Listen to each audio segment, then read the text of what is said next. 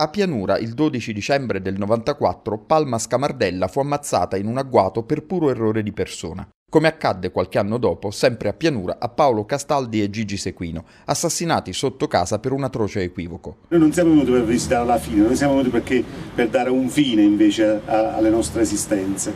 La fine non ci interessa, la fine è un passaggio obbligato per tutti. Chi vede noi stasera deve sentire questo paradosso quello di dire ma come mi vengono morti e tu dici che è vivo, sì, perché noi non possiamo dire altro che sono vivi veramente. Io porto il saluto del sindaco dei Magistri che non poteva essere qui stasera con voi, eh, lo faccio in quanto assessore alla cultura e, ed è bello diciamo, che le comunità civiche si riuniscano insieme intorno a dei momenti fondamentali. Un'aiuola con fiori e ulivi che fronteggia l'ingresso del cimitero di Pianura è stata intitolata a Palma, Gigi e Paolo in un'intensa cerimonia che ha raccolto la comunità del quartiere, un luogo fisico e visibile per coltivare nel tempo la memoria delle vittime innocenti della criminalità e per affermare simbolicamente la presenza delle forze civiche e legalitarie sul territorio.